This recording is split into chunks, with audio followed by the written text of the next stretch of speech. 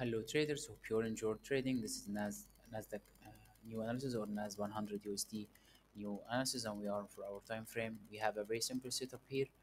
We have this major level of previous resistance and support, and the price closed below it, and now give us this amazing bearish uh, formation this evening star, and also the price touch uh, 78.60 level Fibonacci and move to downside. So now this is a very important support area for this pair 15187.1 so i think the price will go up to retest this broken uh, four hour uh, downtrend line and make head and shoulders pattern left shoulder head and now i think the price will go up to retest 71 uh, fib level and also uh, make the right shoulder and then we can enter a trade from here.